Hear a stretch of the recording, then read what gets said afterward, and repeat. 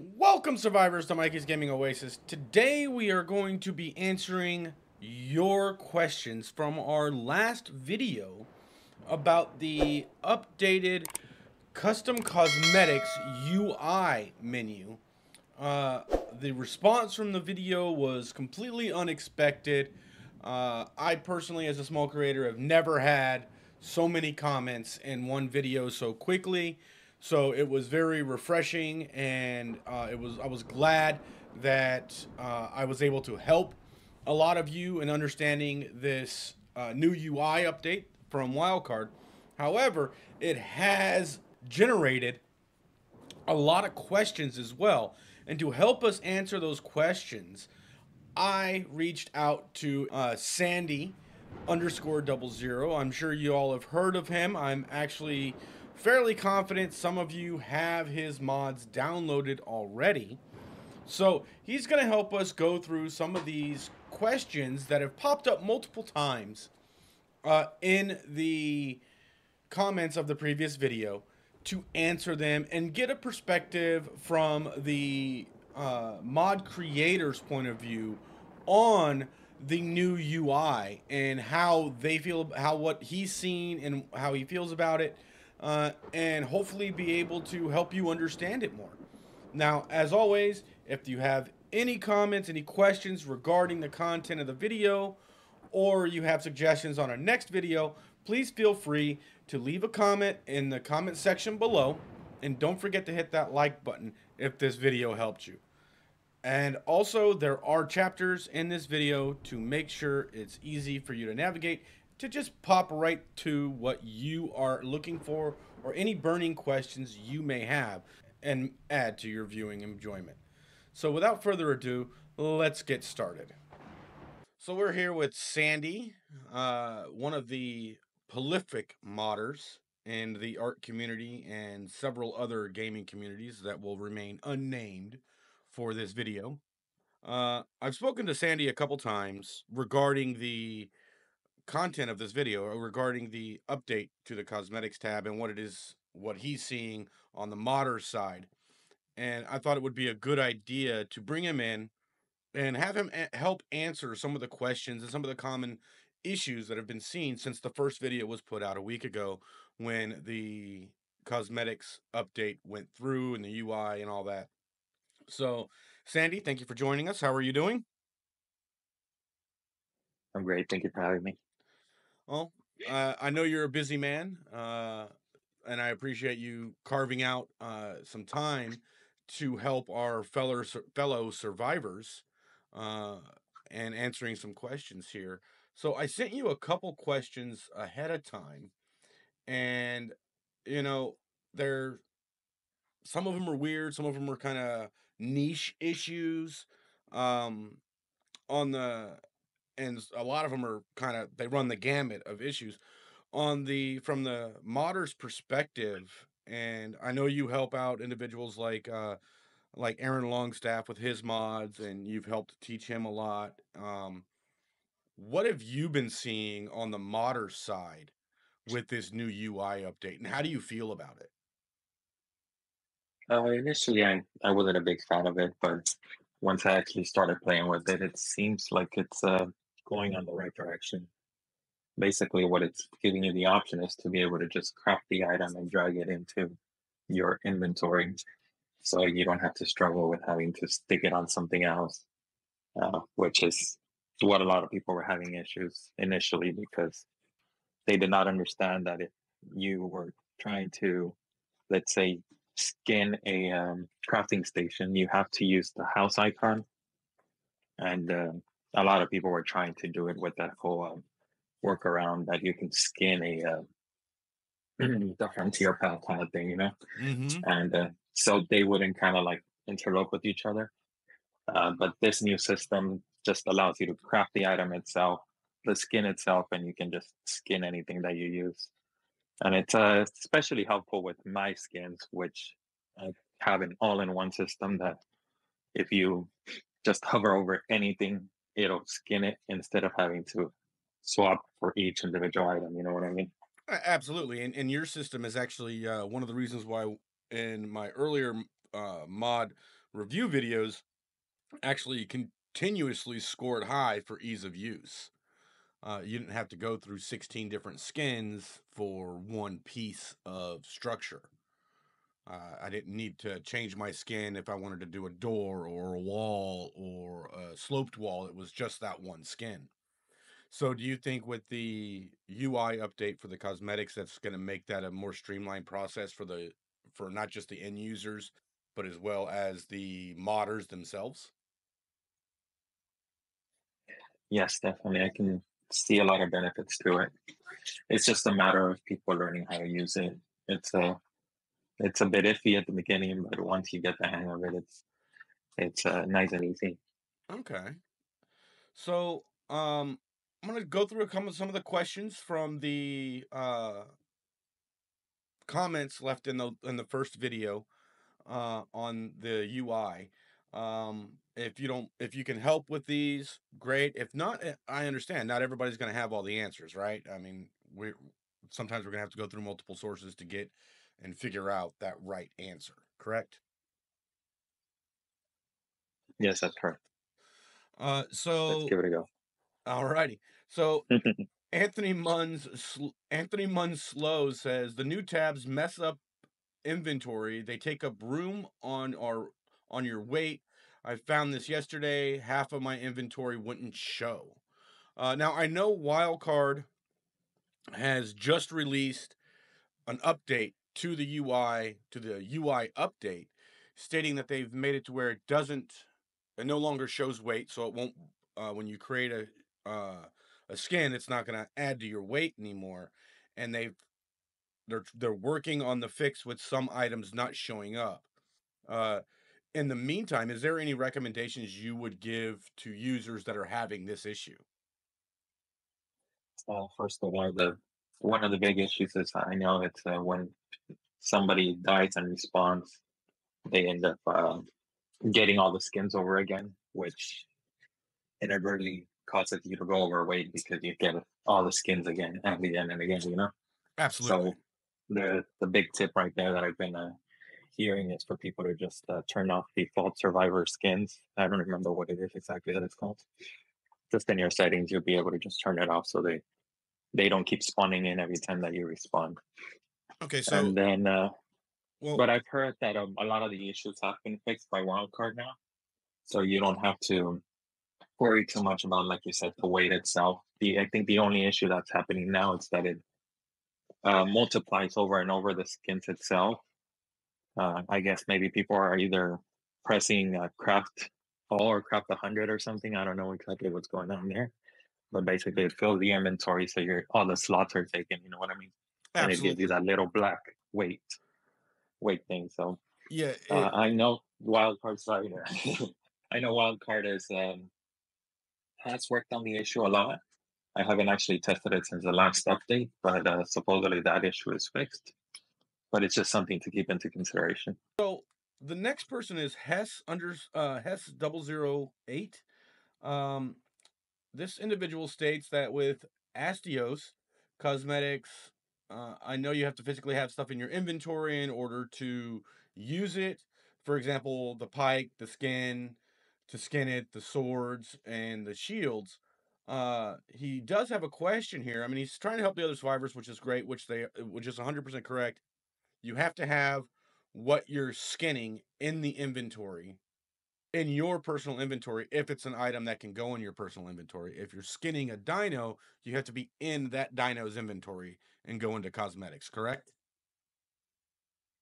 Yes, that's correct. Okay. Yeah, the thing the thing you do have to take into account with the Astraeos skins, I don't remember exactly how to say it, um, is that they are engram. They are engram uh, items skinned. So they're they're not your typical skins that you would see in a cosmetic window. They are an actual item per se. So um, they you have to kind of treat it a little different. Okay. Well, he does have he also has a question in here for uh he says question for any none of my players on my server can see the Astraeos skins, but he can. Any idea why I why? I'm the server owner slash admin, and I don't think that's the reason. Any ideas? Now, I think he's talking about the actual skin pack and not the as the the the map, the Astraeos map. I think he's referring to the actual skin pack in here. I actually have that. Um, it's the armor set. Uh, why do you think that might be the reason that his that his server, the individuals on his servers aren't uh, seeing it? Could it be an issue with the dynamic download? Yeah, that'd be exactly it. Uh, sometimes, uh, for some reason, especially on consoles, the dynamic download doesn't want to kick in fully, especially if it's a bigger file.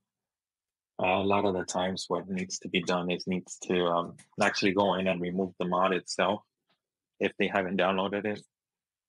And um, I mean, if they have it downloaded, just go remove it and uh, restart your system and then uh, download it again. And that should typically fix it like 80% of the time, 80 to 90% of the time. Um, a lot of the issues with the dynamic system is that uh, basically that, that it doesn't always want to work. Uh, for some reason, for PC, it just is streamlined and it works perfectly. But when it comes to consoles, it it always has issues. For example, with my uh, quantum skins, initially when they came out, a lot of people were were angry and for good reason that they couldn't actually share it. They would buy the item they'd skin something and then nobody would be able to see it, which was kind of a big downside, you know, because that was the whole idea with me making skins for people and having them actually pay for it, that people were going to be able to see it and uh, use it and be able to share what they actually built instead of just having a basic uh, wood structure, you know, wood house. Absolutely. Uh, but but thank goodness, uh, after communication back and forth with Wildcard, they were able to to figure out what the issue was, and uh, they fixed it for the most part. It seems uh, here and there, some people still have the issue, but I have a set of instructions in my Discord that I just give them out, and usually one of those things will fix the the issue for them. So when when you refer to removing the mod itself, the file, are you referring to the the server owner removing it and re-downloading it into the server or the individual survivor having to re-download it even if they haven't downloaded it? See, I'm just want to get some clarification there.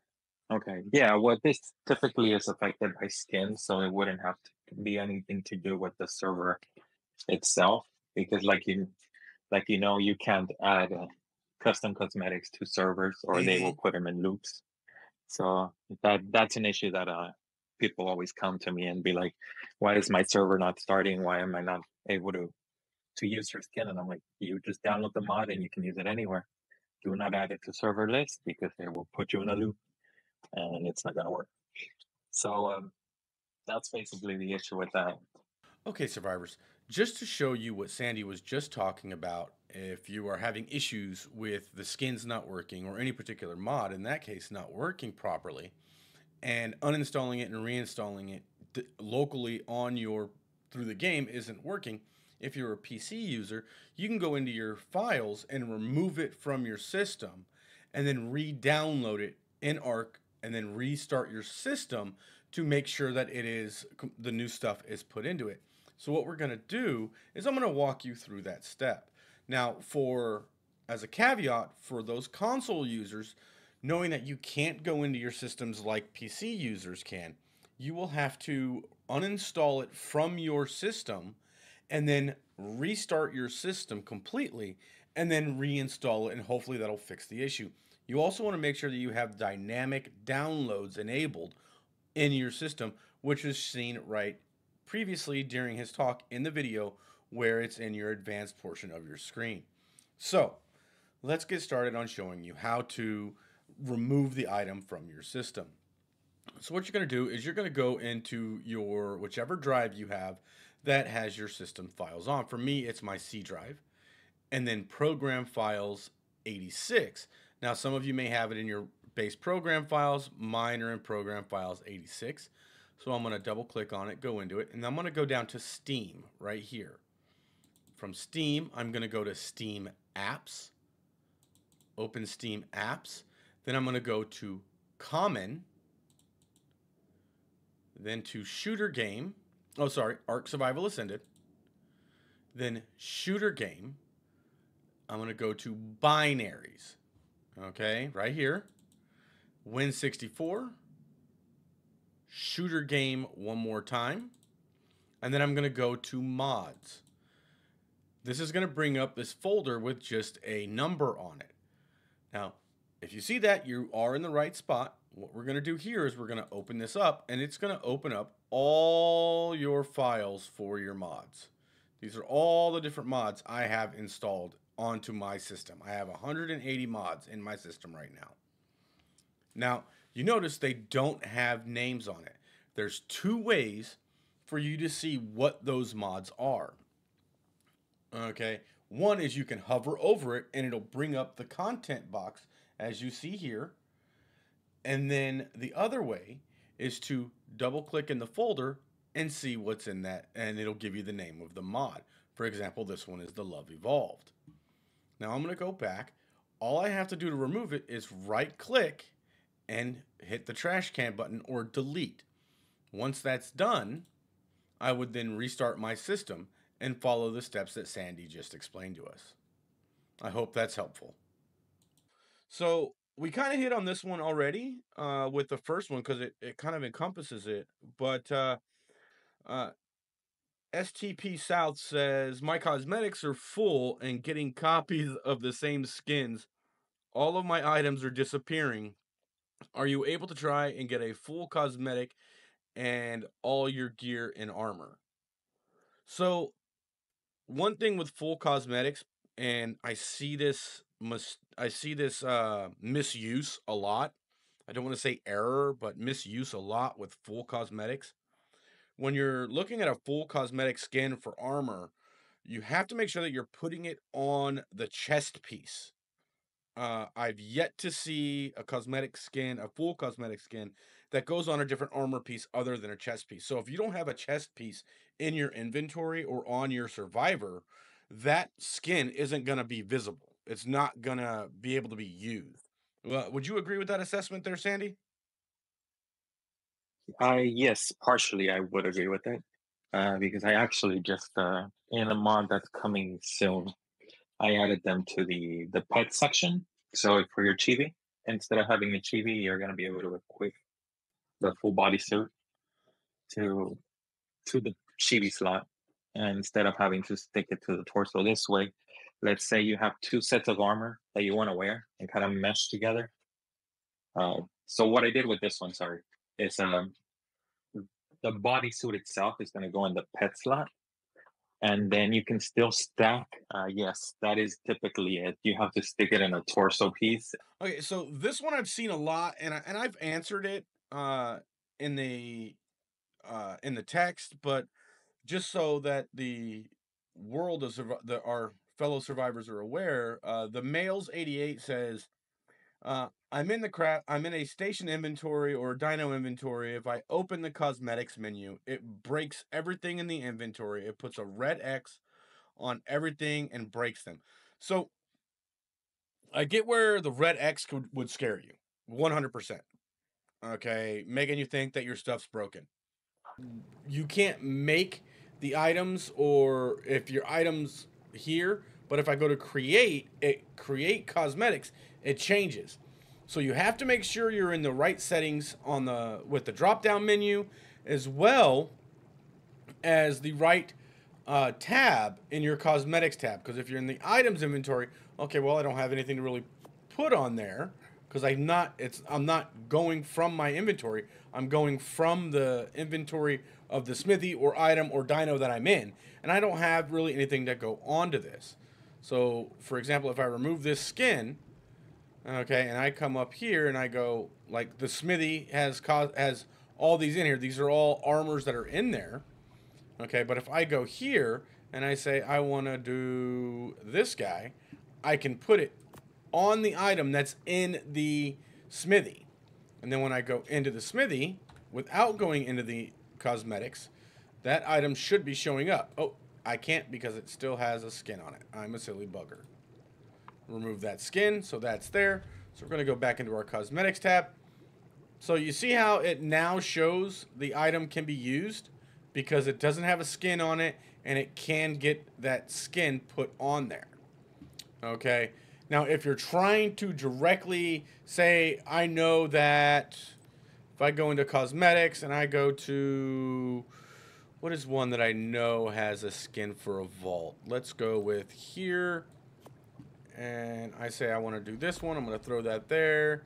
We're going to go to items cosmetics. Oh, got to remove that skin. Sorry. Remove that skin. Create cosmetics. And I want to create this one here. And I go to item cosmetics. See how it won't allow me to? To use that there? Because it's in the smithy. It's not placed yet. So you, if you're trying to put the skin on an object that is placed or a structure that needs to be placed, it won't allow you to. You need to have that plate, that item placed before you put it on there. Correct? Yes, that's correct. Uh, so it's basically just a clear way of people knowing which ones will actually work instead of the way they had it before is that it would like kind of gray out the icon Mm-hmm. and uh, the the other the one that would work would be a little brighter, you know. Absolutely. So it's basically that, but now they're making it a little more clear with the X, just so you don't you don't question it as much. From the Tracy, how do I apply the skins? So I know I've covered this a couple times, but what you're gonna do, Tracy, is you're gonna go to your you're gonna go to your inventory, you're gonna go to your cosmetics. Make sure you have the correct item selected in the drop down on your cosmetics on the left side of your menu and that it matches the cosmetics you have on the right side of your menu. Okay, so for example, uh, this is a structure um, skin. I'm on a PC, so I'm going to hit the activation button for this skin, and then as you see, it removes it and I can put it back on. So it's a matter of going into that menu, your item menu, not your create cosmetics menu. You want to go to your item menu to use that cosmetics. Now, if you're making an armor cosmetic, as I showed earlier, so I'm going to make this one here. I can take it and I can drag it directly on to that item and it'll be there. But if it's not on if it's if it's not in your inventory here or on your person here, you will not be able to place that armor. Same thing goes for saddles and items like that that go on your dinos. It has to be in physically in your inventory or equipped to you. I hope that answers your question, uh, Tracy. Thank you for watching, survivors. I hope this information was helpful and will assist you in your endeavors in using the new custom cosmetics UI. I want to put a special thanks out to Sandi for taking the time to sit down with me and answer your questions about the cosmetics as well as sharing with us what he has seen and what he thinks of the new UI for the custom cosmetics. If this content was helpful to you and enjoyable, please remember to like and share. If you have not subscribed to the channel, please do so, and we will see you again next time.